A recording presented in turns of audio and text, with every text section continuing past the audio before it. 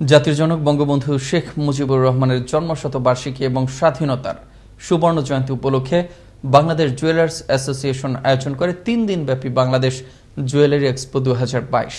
International convention city Bashundhara বৃহস্পতিবার থেকে শুরু হওয়া এমন আয়োজনে অভিভূত ও উৎফুল্ল আয়োজক সহ প্রদর্শনীতে আগত দর্শনার্থীরা।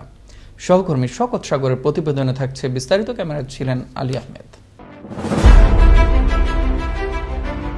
জাতির জনক বঙ্গবন্ধু শেখ মুজিবুর রহমানের জন্মবার্ষিকী উপলক্ষে দেশের ঐতিহ্যবাহী বাণিজ্যিক সংগঠন বাংলাদেশ জুয়েলার্স অ্যাসোসিয়েশনের উদ্যোগে বাংলাদেশে প্রথমবারের মতো আয়োজিত হচ্ছে স্বর্ণালঙ্কার সহ স্বর্ণ স্বর্ণজাত শিল্পের সবচেয়ে বড় প্রদর্শনী বাংলাদেশ জুয়েলারি এক্সপো দু উনিশশো সালের বারোই মে প্রাতিষ্ঠানিক রূপ লাভ করে বাজুস।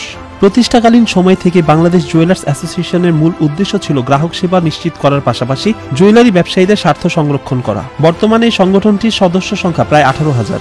বাংলাদেশের স্বর্ণ শিল্প যখন হুমকির পথে, ঠিক তখনই বাংলাদেশের জুয়েলারি সমিতির সভাপতি পদ অলঙ্কৃত করেন বসুন্ধরা গ্রুপের কর্ণধার সাইম সুবাহান আনভির। স্বর্ণ শিল্পকে জাতীয় পর্যায়ে আরও সমৃদ্ধ বেগবান করাকেই যিনি মনে করছেন, অপরিহার্য দায়িত্ব।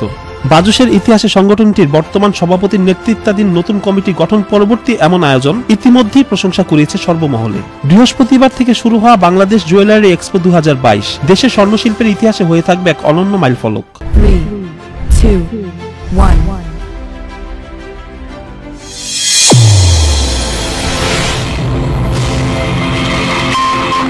দেশে প্রথমবারের মতো স্বর্ণালঙ্কার সহ স্বর্ণ স্বর্ণজাত শিল্পের এমন ব্যাপ্তিময় প্রদর্শনীতে উদ্বোধক হিসেবে উপস্থিত ছিলেন ইস্ট ওয়েস্ট মিডিয়া গ্রুপের পরিচালক ও কথা সাহিত্যিক এমদাদুল হক মিলন।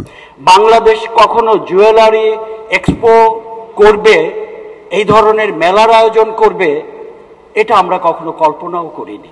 এটি আজকে বাস্তব। এমন আয়োজন অভিভূত উৎফুল্ল বাজুসের সকল পর্যায়ের নেতৃবৃন্দ। আমরা কেউ না কেউ শুরু করতে হবে। সেই শুরুটা আমাদের প্রিয় প্রেসিডেন্ট সাইম সোবহান আনভির সাহেব শুরু করে দিয়েছেন। এদিনে আয়োজনে শুরুর দিন থেকে প্রদর্শনী জুড়ে রয়েছে বিভিন্ন বয়সের দর্শনার্থী ও ক্রেতাদের সরব উপস্থিতি। প্রথমবারের মতো বাজুস প্রেজেন্ট করেছে একটা গোল্ডের জুয়েলারি এক্সপো আমার তো এসে খুবই ভালো লাগছে কজ একই ছাদের নিচে আমরা সব রকমের কালেকশন দেখতে পাচ্ছি। আমি মনে করি এতদিন আমরা বাইরের থেকে গোল্ড নিয়ে আসতাম অর্নামেন্টস আনতাম। তো এখন সময় এসেছে এখন আমরা অবশ্যই আমাদের গোল্ড আমাদের অর্নামেন্টস বাইরে যাবে। অপরদিকে এরূপ আয়োজনে আশার আলো দেখতে শুরু করেছেন স্বর্ণ শিল্পের সাথে সংশ্লিষ্ট সম্পৃক্ত সকল ব্যবসায়ীরা। দুবাই মেলা দেখতাম আমরা টিভিতে আগে ইন্ডিয়া মেলা দেখতাম এই প্রথম বাংলাদেশে মেলা হয়েছে আমরা খুবই আনন্দিত এটার জন্য। এই ধরনের মেলা যদি চলতে থাকে তাহলে এই স্বর্ণ শিল্পকে আরও এই অনেক দূর এগিয়ে নিয়ে যাবে। এটা আমাদের বিশ্বাস। এমন প্রদর্শনী দেশীয় অলংকার শিল্পকে সমৃদ্ধ করার পাশাপাশি অভ্যন্তরীণ চাহিদা মিটিয়ে বাংলাদেশকে স্বর্ণ স্বর্ণজাত শিল্প রপ্তানির ক্ষেত্রে একটি মজবুত অবস্থানে পৌঁছতে বিশেষ অবদান রাখবে বলে প্রত্যাশা আয়োজকদের। দেশের গণ্ডি পেরিয়ে স্বর্ণজাত পণ্য রপ্তানি করবে বাংলাদেশ। এখন তা শুধু সময়ের ব্যাপার মাত্র। সেই সাথে আরও সমৃদ্ধ হবে স্বর্ণ শিল্প এমনটাই প্রত্যাশা আয়োজকদের। শকত সাগর আনন্দ টিভি ঢাকা।